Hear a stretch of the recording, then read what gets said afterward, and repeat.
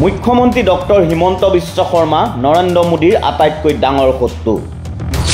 নৰেন্দ্ৰ মোদীৰ বিৰোধী শিবিৰত আছে মুখ্যমন্ত্ৰী ডক্টৰ হিমন্ত বিশ্ব শৰ্মা।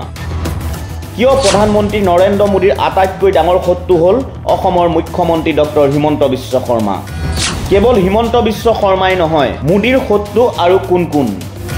উত্তৰ প্ৰদেশৰ মুখ্যমন্ত্ৰী যোগী আদিত্যনাথো প্ৰধানমন্ত্ৰী নৰেন্দ্ৰ মোদীৰ ডাঙৰ শত্ৰু। তাৰ শিবিৰত আছে অসমৰ মুখ্যমন্ত্ৰী ডক্টৰ হিমন্ত বিশ্ব শৰ্মা আৰু উত্তৰ প্ৰদেশৰ মুখ্যমন্ত্ৰী যোগী আদিত্যনাথ। বিজেপিৰ আভ্যন্তৰতো সৃষ্টি হৈছে নেকি লবিকেন্দ্ৰিক ৰাজনীতি? প্ৰধানমন্ত্ৰী নৰেন্দ্ৰ মোদীৰ বিৰুদ্ধে বিজেপিৰ আভ্যন্তৰতো হৈছে নেকি আন এক শিবিৰ?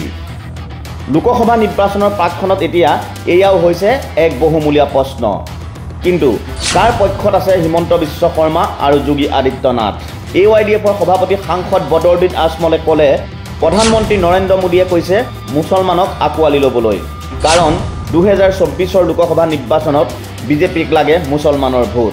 কিন্তু মুছলমানৰ শত্ৰুতা কৰি আহিছে হিমন্ত বিশ্ব শৰ্মা আৰু যোগী আদিত্যনাথে।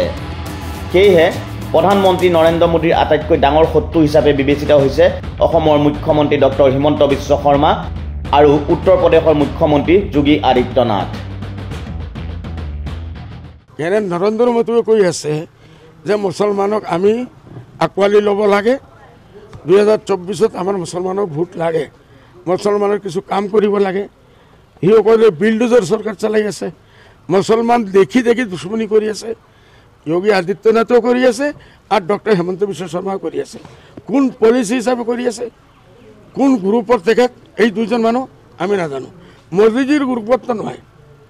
এতিয়া কোন গ্ৰুপৰ আছে সিসকলে কওক।